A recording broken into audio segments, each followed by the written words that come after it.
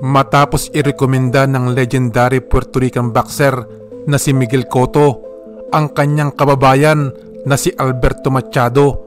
Sa mahusay na boxing trainer na si Freddy Roach hindi nagsayang ng panahon ang batikang trainer. Hinasa ng gusto si Machado at napasabak agad sa title fight kontra sa tigasin din na si Jezreel Corrales. Dinurog si Corrales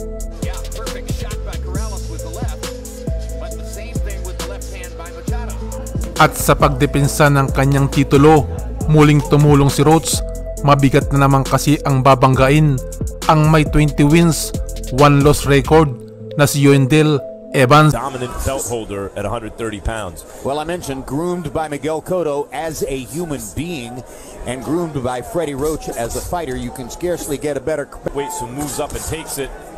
He was very impressive in the fighter meeting, guys. Understanding what it meant. It means taking risks in this fight. Very smart, and his name is Money Shot for Motor, right? Yes, I was at one time. So it could be either the left. As long as he's smart with it. Down he goes on. A straight left hand from Machado, who has punching power of his own. In both hands. Their reaches are the same. But Walk this way.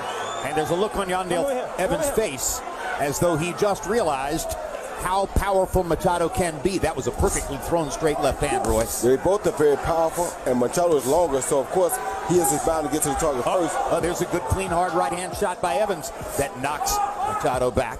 their, their reaches are the same, technically. But I'd rather be the taller guy with the reach, Roy, because you're punching down. And there he punched down and caught Yuandale and knocked him down. Of course, Dead had to get for Oh. the shot. That hook bad. staggered by a right hook. He's done. Machado looking to finish right now. Stopped. Evans lost on a first round knockout against Hot.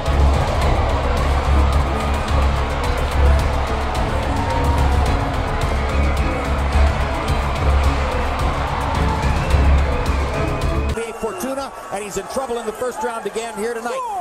Twice down against Fortuna in his only loss. Twice down now already here in the first round against Machado. Maybe he's got a first round problem. Maybe he's a little cold in the first round. No, in this fight, he's a 26 pounder fighting a 30 pounder.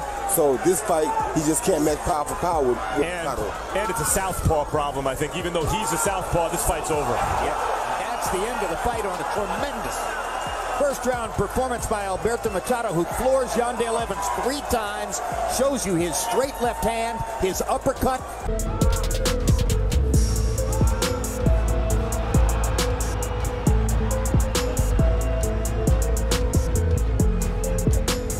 Alberto, el explosivo Machado.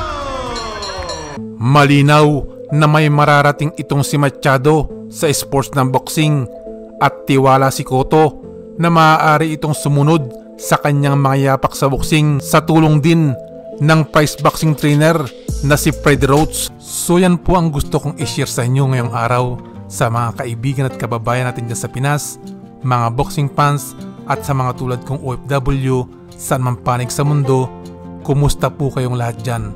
Kung nagustuhan niyo po itong aking video, paki-like at kung pwede, mag-subscribe na din po kayo.